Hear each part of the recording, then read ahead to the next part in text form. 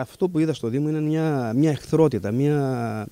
Δεν μπορεί να φανταστείτε. Δηλαδή, συγγνώμη κύριε Συντομεύη, περιμένουν και άλλοι, ας πούμε. Έβαλαν κολονάκια έξω από ιδιωτικό πάρκινγκ στο κέντρο του Ηρακλείου, με αποτέλεσμα ο ιδιοκτήτης του βαν που αγόρασε το οικόπεδο για να το χρησιμοποιεί ως πάρκινγκ, αυτή την ώρα μόνο με μαγικά να μπορεί να βγάλει το αυτοκίνητό του. Επανειλημμένα έχω ζητήσει από το Δήμο μία απόφαση, ένα χαρτί, κάτι που να λέει ότι πρέπει να μπουν τα κολονάκια μπροστά και να κλείσουν την είσοδο στο οικόπεδο. Δεν μου έχει απαντήσει βέβαια.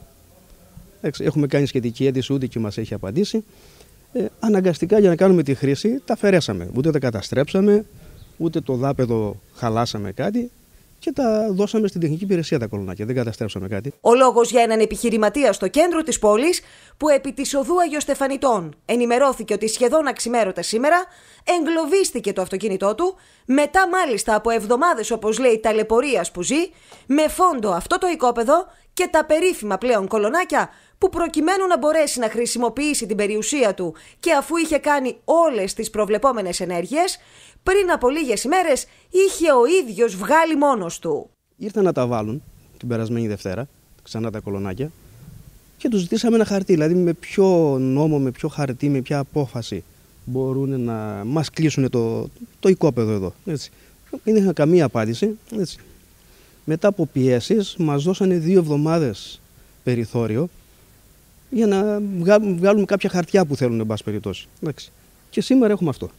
Αυτό εδώ. Ήρθαν και μας κλείσαν. Όταν η τεχνική υπηρεσία πήγε στις αρχές της εβδομάδας να βάλει και πάλι τα κολονάκια, όχι απλά έφυγε χωρίς καν να τα τοποθετήσει, αλλά υπήρξε και η δέσμευση, όπως λέει ο ιδιοκτήτης, ότι θα του δοθεί χρόνος για να λάβει όσα δικαιολογητικά χρειάζεται για να μπορέσει να χρησιμοποιήσει μετά από καιρό την ιδιοκτησία που πλήρωσε για να έχει. Ανταυτού, όχι χρόνος δεν του δόθηκε, αλλά σήμερα τα κολονάκια μπήκαν και πάλι με το αυτοκίνητό του να εγκλωβίζεται μέσα στο χώρο. Με ποιο δικαίωμα, έτσι, ο Δήμος, οποιοδήποτε έτσι, έρχεται και μας ε, αποκλεί την πρόσβαση σε ένα οικόπεδο; Δηλαδή, πώς λειτουργεί, δηλαδή, δεν πρέπει να έχει κάποιος νόμος, να υπάρχει κάτι.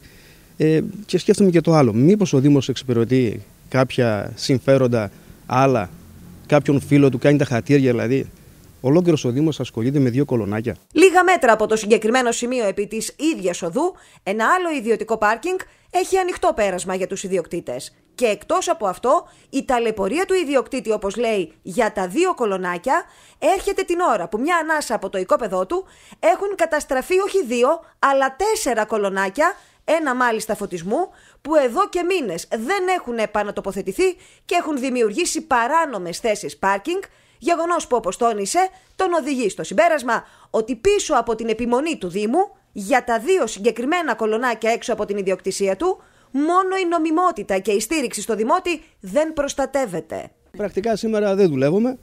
Έτσι. Ε, μέχρι να δούμε με ποιο τρόπο θα φύγουν τα κολονάκια από εδώ.